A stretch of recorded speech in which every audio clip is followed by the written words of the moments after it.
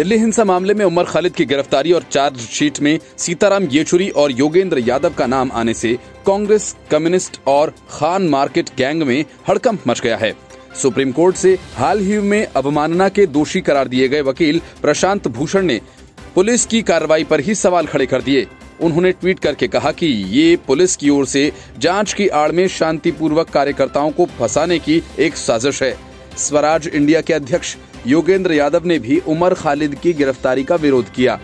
दूसरी तरफ़, कांग्रेस के पी चिदम्बरम को इस बात की मिर्ची लग गई कि चार्जशीट में सीताराम येचुरी और योगेंद्र यादव का नाम क्यों है? प्रशांत भूषण ने एक और ट्वीट में कहा कि सीताराम येचुरी, योगेंद्र यादव, जयति घोष और अपूर्वानंद का नाम लेने के बाद अब उमर खालिद की गिरफ्तारी से दिल्ली हिंसा की जाँच कर रही दिल्ली पुलिस के दुर्भावनापूर्ण नज़रिए को समझने में कोई संदेह नहीं बचा है। ये पुलिस की ओर से जाँच की आड़ में शांतिपूर्ण कार्यकर्ताओं को फंसाने की साजिश है। स्वराज इंडिया के अध्यक्ष योगेंद्र यादव ने भी उमर खालिद की गिरफ्तारी पर सवाल उठाए हैं।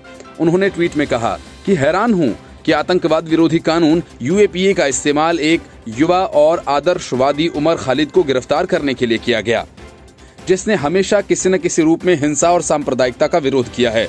वो निसंदेह उन नेताओं में से है जो भारत के हकदार हैं। दिल्ली पुलिस भारत के भविष्य को लंबे समय तक हिरासत में नहीं रख सकती। दिल्ली हिंसा केस मामले में दिल्ली पुलिस ने चार्जशीट दाखिल कर ली है और इस चार्जशीट में कई बड़े नाम शामिल किए गए हैं। सीपीएम नेता सीताराम येचुरी समेत स्वराज अभियान से जुड़े योगेंद्र यादव का नाम शामिल किया गया, जिसे लेकर कांग्रेस नेता और पूर्व वित्त मंत्री पी चिदम्बरम ने सवाल उठाया। चिदम्बरम ने दिल्ली दंगों पर पुलिस की चार्जशीट पर सवाल उठाते हुए पुलिस प्रशासन पर तंज कसा है। कांग्रेस ने दिल्ली दंगों में पुलिस द्वारा दाखिल किए गए पूरक आरोप पत्र में नामजद किए सीपीएम नेता सीताराम येचुरी, योगेंद्र यादव पर आपत्ति जताई है और उनके समर्थन में उतर आई है। कांग्रेस नेता ने आरोप लगाया कि दिल्ली पुलिस ने आपराधिक न्याय प्रणाली का मज़ाक उड़ाया है। कांग्रेस ने एक बार फिर से बीजेपी और केंद्र सरकार पर निशाना साधते हुए कहा कि बीजेपी को अपनी नीतियों के खिलाफ उठ रही आवाजों को दबाने के प्रयास में निम्न स्तर पर बीजेपी अपनी नीतियों के खिलाफ उठ रही आवाजों को दबाने के प्रयास में निम्न स्तर पर गिर गई है। चिदम्बरम ने एक के बाद एक कई ट्वीट्स कर लिखा कि दिल्ली पुलिस द्वारा एक अभियुक्त के खुलासे पर दाखिल की गई चार्जशीट में सीताराम येचुरी, योगेंद्र यादव जैसे नामों को शामिल करना आपराधिक न्याय प्रणाली का मज़ाक है।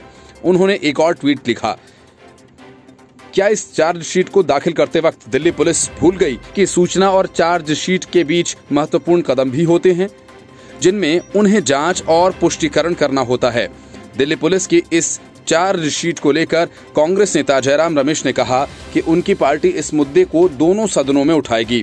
आपको बता दें कि सी और एनआरसी के खिलाफ भड़की हिंसा में जान माल का नुकसान हुआ था।